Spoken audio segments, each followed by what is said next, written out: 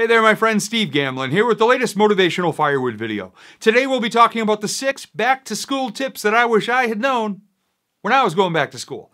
And if you hang out till the end of the video, there is a special bonus web address where you can download these tips for yourself and your kids. Here we go.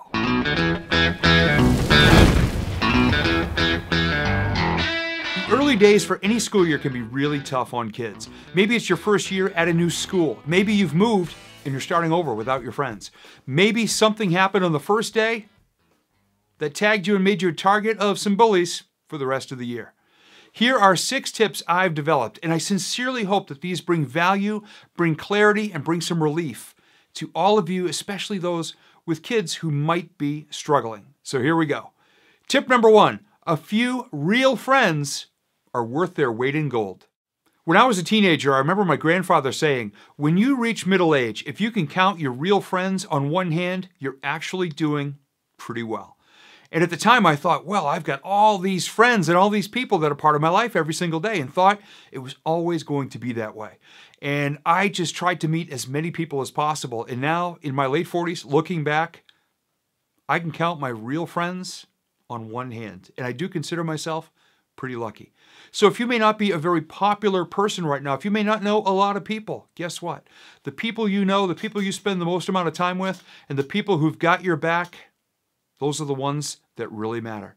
Spend your time, spend your energy, focus on maintaining and making even stronger those relationships. Tip number two, what makes you different makes you awesome. There are so many people in school, especially in teenage years, who are just trying to look the part of everybody else, who are trying to wear what is popular, look popular, sound popular, act popular. You know what really stinks about that? Everything looks and sounds the same. You don't stand out. What makes you different makes you unique. It makes you awesome. It makes you who you really are. So please don't try to conform. Don't change your, your style. Don't change your attitude. Don't change your actions just to fit in. Be yourself. And that's good enough. Your real friends will dig it. Tip number three the only person you need to impress is yourself. So many people get caught up in what's going on out there and getting noticed that sometimes they fall under the spell of the popular people, and they say and do things that they would not normally do themselves in the guise of impressing other people and being accepted. You know what your integrity tells you to do. You know what your mind and your heart tell you to do.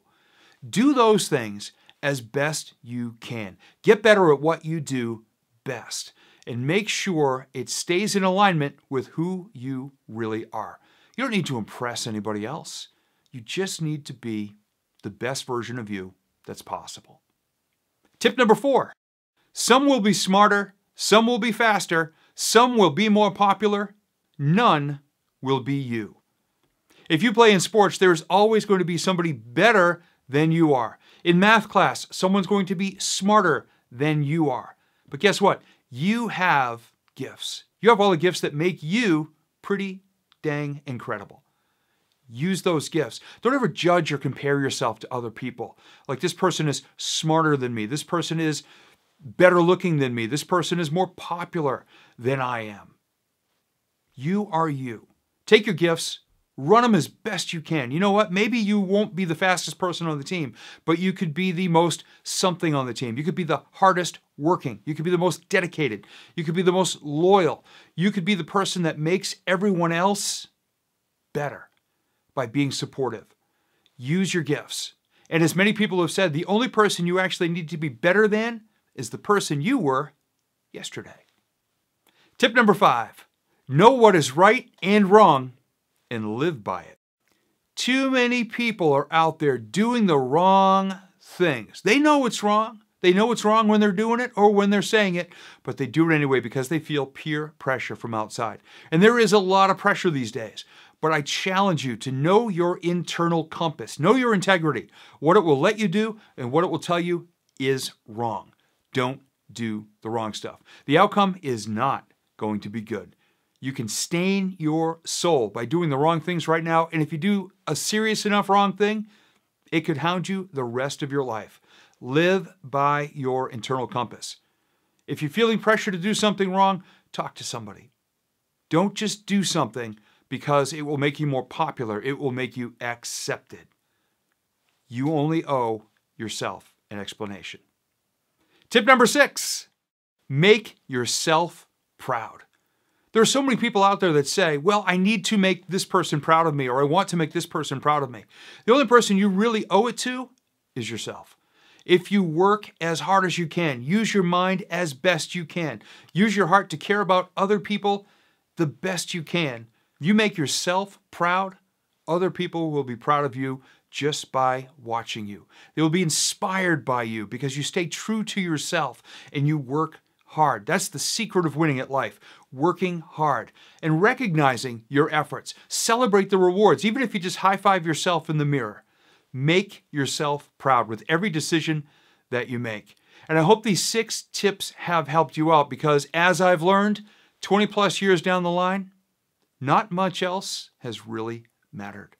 If you'd like to have these six tips for yourself, it's very simple. Go to this website, Back to School Tips. That is the number two, Back to School backtoschooltips.com. You can sign up there and receive this download in your email. Thank you so much for watching this video. I sincerely hope it has brought some value your way, and I wish you all the best as you or your family members are headed back to school. Be well.